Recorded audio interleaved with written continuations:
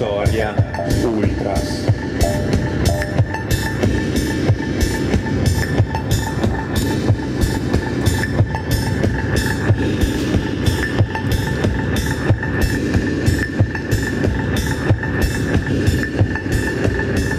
Avrò avuto nove anni quando per la prima volta andai allo stadio a vedere la squadra della mia città.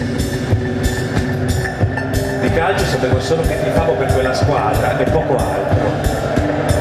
Di politica sapevo solo che quando c'era Enrico Berlinguer alla tv dovevo stare zitto. Se no volavo un coppino o uno scappellotto. Se alla tv parlavano Andreotti, Fanfani o Almirante, invece volava un coppino se stavo ad ascoltarli. In casa le idee erano chiare e si comunicavano senza troppo approfondimento. Una trasmissione dei valori efficace, ancorché vagamente dolorosa. Allo stadio ricordo che sentì questo coro bellissimo non ne corsi subito la storia che si portava dietro. Mi piacque ugualmente. E sono molti anni che questo coro è scomparso dalla curva sud. Ma io lo so ancora a memoria. Faceva più o meno così.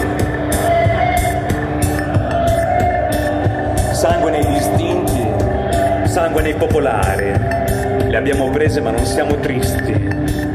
È ora di rifarsi, è ora di sparare il sangue dei compagni dobbiamo vendicare. Sangue nei distinti, sangue nel palazzetto. Noi siamo tutti quanti ultraschetto.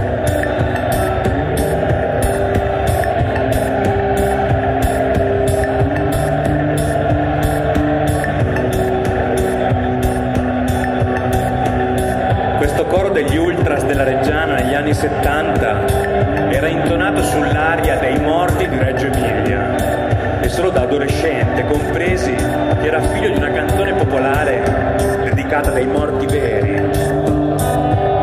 Morti veri non allo stadio ma in piazza, per colpa della polizia fascista del governo Tambroni, il 7 luglio del 1960.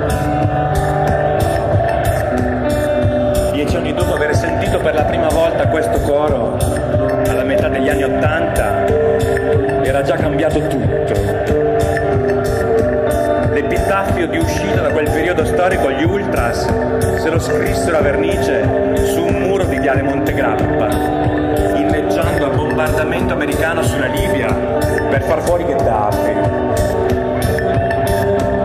Lo stesso Gheddafi che poi divenne azionista della Juventus. Lo stesso Gheddafi il cui figlio giocava per scherzo nel Perugia. Lo stesso Gheddafi socio dell'Eni. Stesso Gheddafi che adesso abbiamo ripreso a bombardare.